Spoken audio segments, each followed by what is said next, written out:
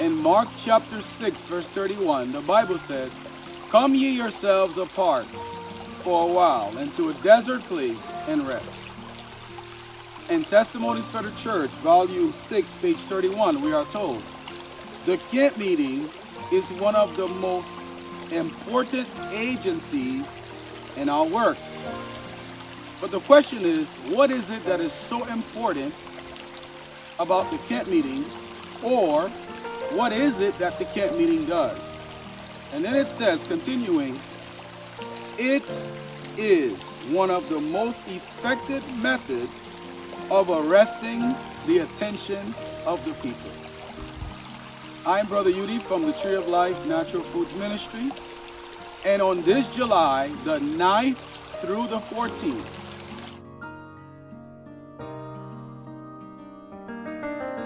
God's grace, we will be on this property, camping out, and allowing our attention to be arrested so that we can understand the times in which we are living, the work in which we are to do, and to understand the various practical means of better giving the third angel's message. We are going to be working on hands-on agriculture courses, hands-on courses on medical missionary training, hands-on courses on how to raise our children and to educate them in the ways of the Lord. Hands-on education on water sourcing, finding water for your country living property, and hands-on Bible work and Bible prophecy. We have various speakers.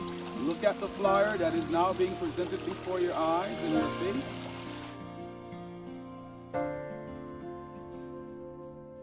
And we will be together for five days, from the 9th to the 14th, camping out and allowing the Holy Spirit to fall upon that camp.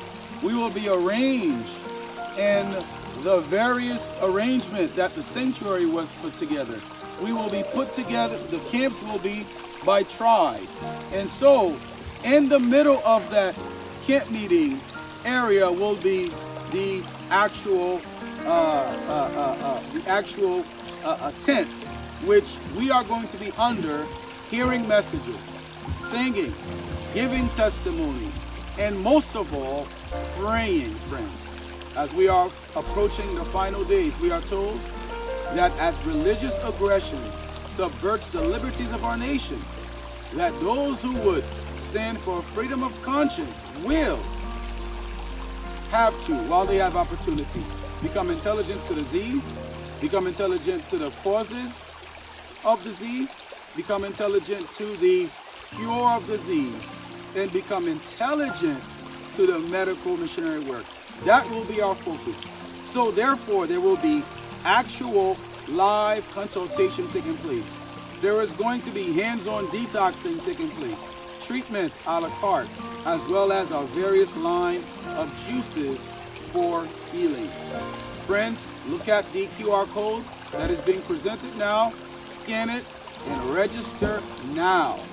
Reserve your spot because here in the old in the uh, Ozark Mountains, and more specifically in Douglas County, Missouri, about an hour away from Mountain Home, we will be meeting together, studying together, working together, and hastening the second coming of our Lord and Savior, Jesus Christ. We will see you there, and may God bless you.